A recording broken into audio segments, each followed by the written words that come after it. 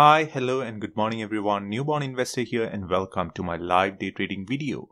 Hopefully the market gives us some great opportunities today as we're all here to make some money. So if you're new to my channel, you know what to do. Consider subscribing if you're interested in stock market investing and trading. I do offer a free Discord chat group where I post my trade ideas before it plays out, so please feel free to check out the link in the description below. Alright, let's see what we have for today. I do have three stocks in my watch list, ticker XL, ticker BTWN, and ticker PLTR. So XL right now, it looks impressive because uh, earlier the trend was downwards uh, there was no trend confirmation. So I want XL to hold the trend and break the pre-market high of around 3450 before I'm interested. The next one is ticker BTWN. The stock gapped up to a pre-market high of $21 and now it's trading around $16.75. So it's clearly on a downtrend.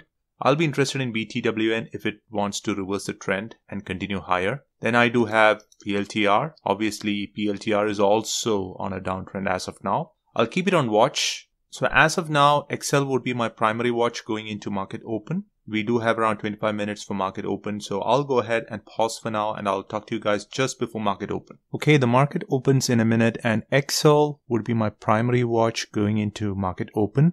I do have support levels marked. My first support level is around 33, 67, 70 area. Then my next add would be around 33 area. My third add would be around 32 and my final add around 3120 I do have a, a bigger room uh, on this stock. I'm taking that risk today. I would mitigate that risk with a smaller share size. The market is open, putting my entry around 33.75. If 34 breaks, probably I'll get my entry. I think I'm left in the dark. I'll I'll wait. Looks like I may get my add. It again bounced off the 34 area. Yep, I'm in. I'm watching. I'm not selling. I just want to give it some more time. I got my second add, putting my third add around 32 area. If the stock wants to retest 33.75, I would look to exit selling, putting an order around 33.90. Got my first exit.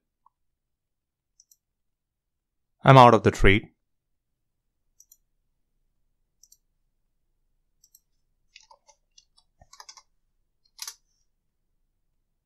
It was a perfect trade textbook setup.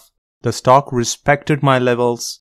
You could see here the stock bounced off my levels clearly. I could have taken my first exit uh, when the stock actually uh, tried to retest the 3450 area, but I wanted to give it some time and probably the stock would continue even higher from now. But I think I got my fair share of profits. I'll be interested in XL if the stock wants to make new highs. Right now, I think the setup is over. I would still watch XL for any other setups. On my first trade on XL, I made a little over $100. I'll take it. I would like to get an entry around 32.5. I got in. This would be a quick scalp. 32.24 would be my exit. Just putting a sell order around 32.24. Just giving it some more time. So 31.26 would be my next add. Yep, I got in. I've exited. That was a risky trade, but just made $20 on that. So was it worth the risk?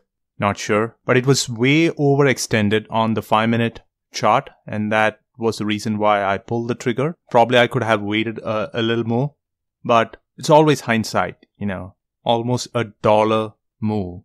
My average was around 31 65 and now it's at 32.75. But glad I was able to come out of the trade green. So on my second trade on XL, I made close to around $20. So that puts me up around $120. I'll take it and I'll be completely happy with it. Being a half trading day, I don't want to overstay my welcome, so I'll call it a day. I think on XL, I actually traded my plan. I had four entry levels marked and I averaged in. Uh, I got my entries at all those four levels and I was able to come out of the trade green. So this is the advantage of going into a trading day with a plan.